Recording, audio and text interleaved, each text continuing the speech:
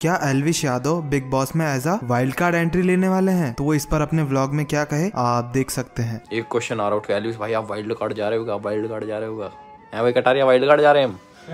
हम हम क्या होता? हम क्या होता? ये क्या पता? कटारिया के घर में से कोई चला जाए। कटारिया का बड़ा भाई चला जाए सोचो। नहीं यार अभी तो देखो। ऑनेस्टली नहीं। सब कह रहे भाई आओ आओ वाइल्ड कार्ड आओ। ऐसे नहीं होता भाई। कुछ होगा तो definitely will let you know vice but अभी तो no scenes no plans no wild card entry इस वाले सीज़न के लिए। और अच्छे अच्छे शोज़ आ रहे हैं। ऐसा नहीं कि मैं नहीं कर रहा शोज़ कर रहे हैं। तो शोज़ में देखना, मुझे दूसरे शोज़ में। अगर इसमें मज़ा ना आए तो उसमें शिफ्ट हो जाना है नो इट्स ओके